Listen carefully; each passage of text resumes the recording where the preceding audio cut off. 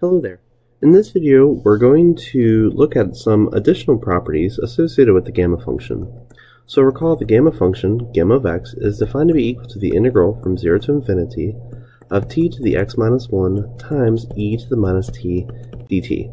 And this is typically defined for any x greater than 0.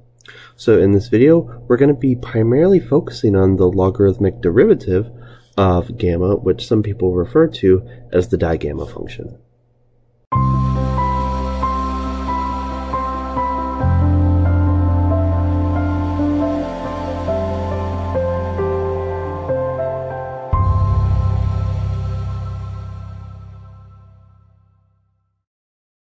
So, to begin, let us first define what the digamma function is.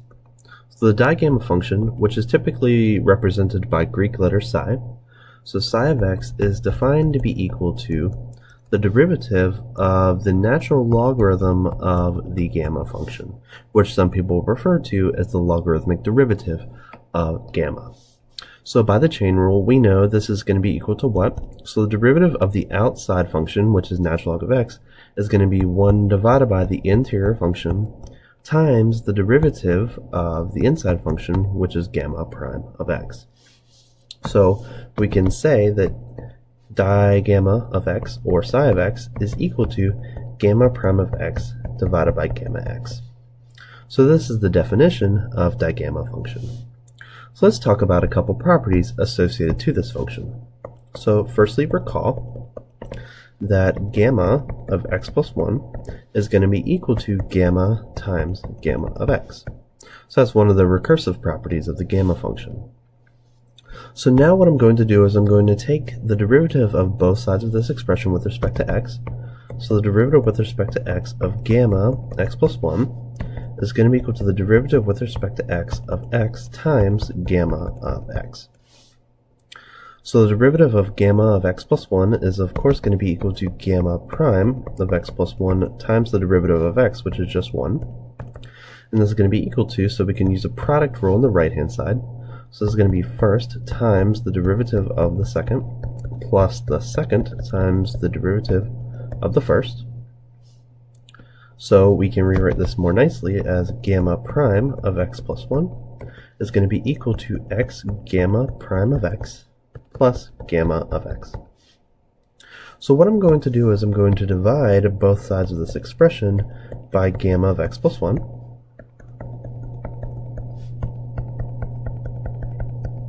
And I'm going to use the property that psi of x is equal to gamma prime of x over gamma x, and I'm going to use the fact that gamma of x plus 1 is equal to x gamma of x.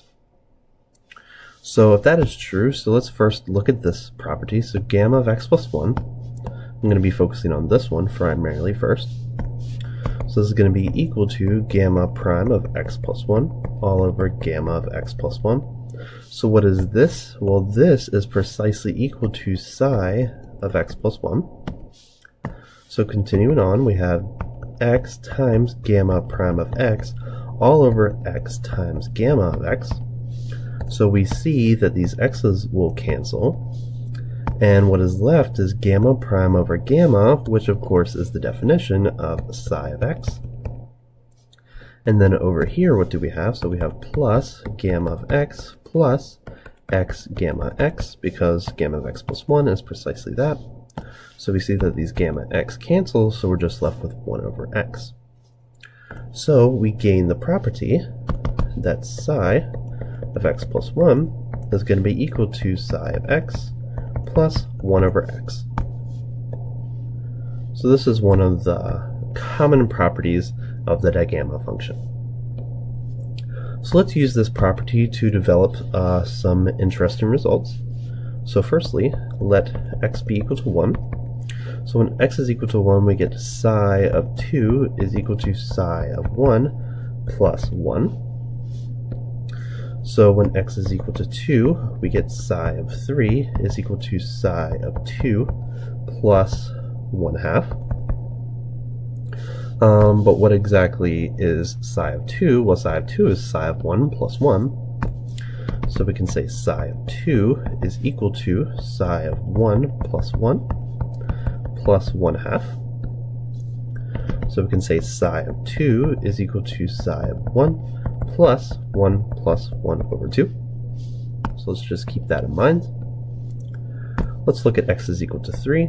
So when x is equal to 3, psi of 3, or psi of 4 rather, is going to be equal to psi of 3 plus 1 over 3. Now, what is psi of 3 equal to? So psi of 3, which is this expression, right? So psi of 3 is psi of 1 plus 1 plus 1 half. So let's just replace that. So we get that psi of 4 is equal to psi of 1 plus 1 plus 1 half plus 1 third. And you may see what is going to start to build uh, on this right hand side.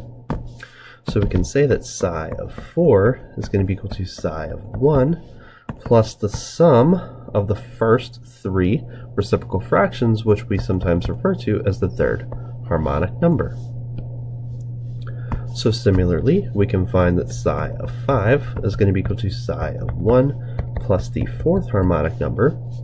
And in general, you can generalize this to be uh, psi of n is equal to psi of 1 plus the n minus 1th harmonic number. So this is another uh, interesting result for the digamma function. So let's see if we can try and figure out what this relationship is for psi of 1. So what is psi of 1? So psi of 1 is going to be the derivative with respect to x of the natural log of the gamma function evaluated at the point x is equal to 1. Or equivalently, this is going to be gamma prime of x divided by gamma of x evaluated at x is equal to 1. So we can rewrite this as 1 over gamma of x times the derivative with respect to x of the gamma function, which is the integral from 0 to infinity of t to the x minus 1 times e to the minus t dt. And we're going to be evaluating this at x is equal to 1. So we can apply Leibniz rule for this and pass the total derivative underneath and turn it into a partial derivative with respect to x. So this is going to be 1 divided by gamma of x times the integral from 0 to infinity times the partial derivative with respect to x of t to the x minus 1 times e to the minus t dt. And we still need to evaluate this at x is equal to 1. So with respect to x, so e to the minus t is a constant, and this is going to be an exponential function.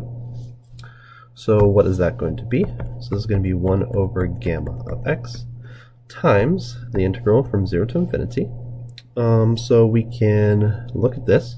So what is the derivative of a to the t minus 1 or a to the x minus 1? So that's going to be t to the x minus 1 times the natural log of the base of that exponential function times this constant e to the minus t dt evaluated at x is equal to 1.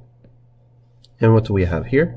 So when x is equal to 1, we can plug in into this term since that's the only term that has x in it. So 1 minus 1 is going to be 0, and t to the 0 power is going to be 1, and 0 is a boundary point, and one can see that that will converge uh, with no problem at all.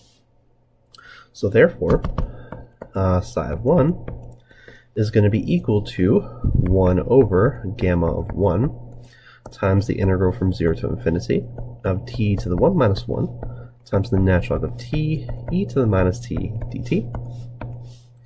Now, what is gamma of 1? So remember, gamma of 1 is going to be equal to uh, 1 minus 1 factorial, which is going to be 1 by definition. So, and this is going to be equal to 1 as well. So therefore, psi 1 will be equal to the integral from 0 to infinity of the natural log of t times e to the minus t dt. Now this integral should look very familiar to you. Remember this is equal to the negative Euler-Mascheroni constant. So this, so since the integral from 0 to infinity of the natural log of t e to the minus t dt is equal to minus gamma, which we've proved in previous videos so far, in case you uh, haven't seen them. So therefore, we can say that psi of 1 is equal to minus gamma. So with that being said, how can we rewrite our previous identity? So remember, psi of n plus 1 was equal to psi of 1 plus the nth harmonic number. So now we can replace psi of 1 with minus gamma.